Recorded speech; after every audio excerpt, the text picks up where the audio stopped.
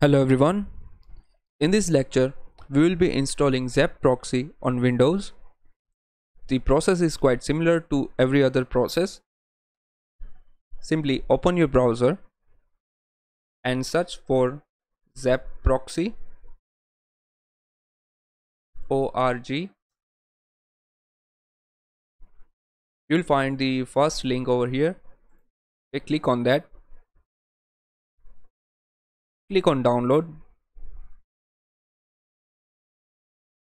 And I want to clear out here that while making this uh, course uh, Zap released a standard version updated version that is 2.8.0 so based on the version of uh, based on the type of the operating system you can download the installer file for windows to check whether your system is 64 or 32 bit you can simply search for run hit enter and type dxdiag and click on ok.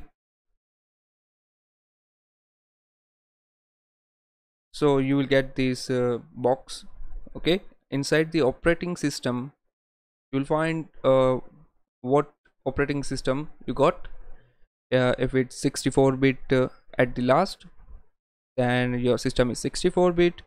If anything else is written over here then that means that your operating system is 32 bit. Okay based on that you can download the installer file.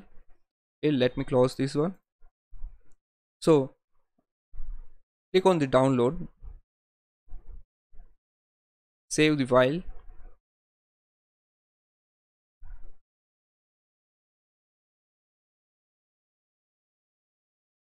once the file got downloaded open the file.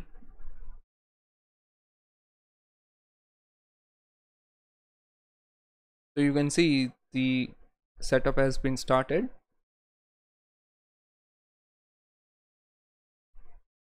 Click on next. Select I accept. Click on next. Standard installation. Next. Install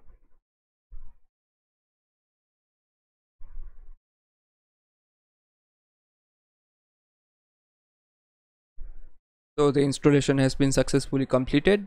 Click on finish. And you can find zap.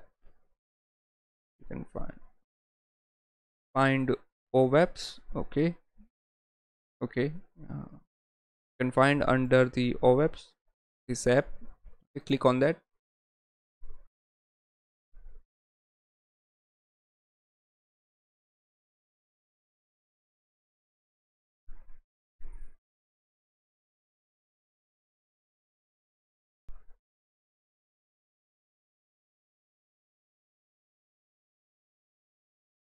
as you can see our application has been successfully installed on windows